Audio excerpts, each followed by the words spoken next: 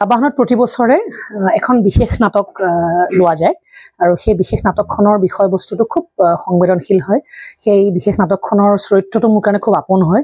সেই বিশেষ নাটকখন দৰ্শকে প্ৰতি বছৰে সাংঘাতিক সমাদৰ দি আহিছে সেইটো আমাৰ কাৰণে সৌভাগ্য।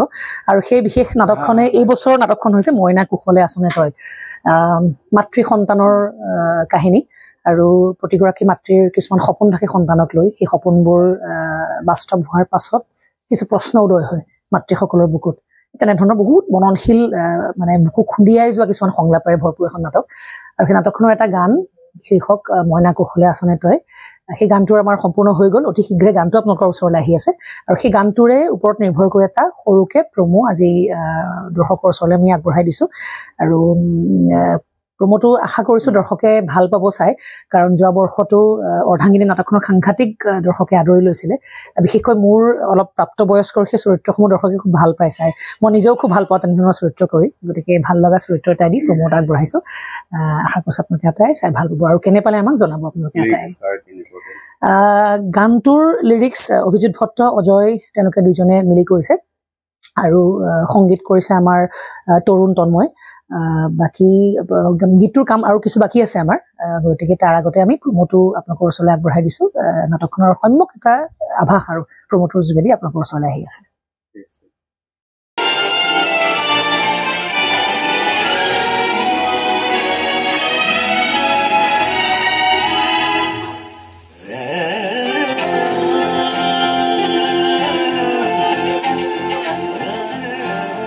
মাকবোৰ সঁচাই বেলেগ ধাতুৰে গঢ়া দেই নিজৰ সুখ আনন্দ সকলো বিসৰ্জন দিয়ে কেৱল এটাই আশাত তেওঁলোকৰ সন্তানবোৰ এদিন সফল হ'ব।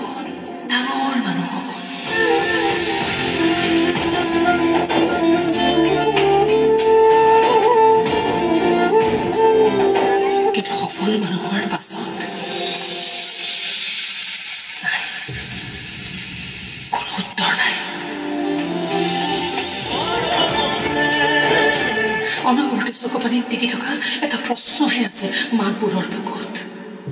মইনা কুশলে আছনে? কুশলে আচলে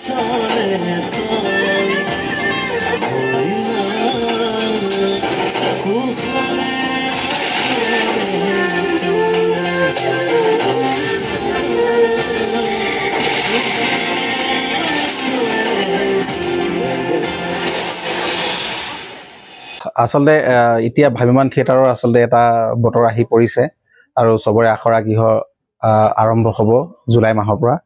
আৰু তাৰ প্ৰাক্ষণতে প্ৰত্যেক বছৰে আমি অসমবাসী ৰাইজলৈ বিভিন্ন ধৰণৰ গান ভিডিঅ' প্ৰমো বা থিয়েটাৰৰ নাটকৰ প্ৰমো এইবিলাক আমি এৰি আহিছোঁ। আৰু আজি আমাৰ মা ষ্টুডিঅ'ত অসমৰ এখন আগশাৰীৰ অন্যতম সৰ্বশ্ৰেষ্ঠ নাট্য দল আবাহন থিয়েটাৰ। প্ৰস্তুতি পৰাশৰৰ নেতৃত্বত যি থিয়েটাৰ সগৌৰৱে চলি আছে আপোনালোকে দেখিছেই। প্ৰত্যেক বছৰে ছুপাৰ টুপাৰ হিট হয়। আৰু এইবাৰো আচলতে ব্য- ব্যতিক্ৰমী ৰূপত প্ৰস্তুতি পৰাশৰে তিনিটা চৰিত্ৰত আচলতে অভিনয় কৰিব তিনিখন নাটকত।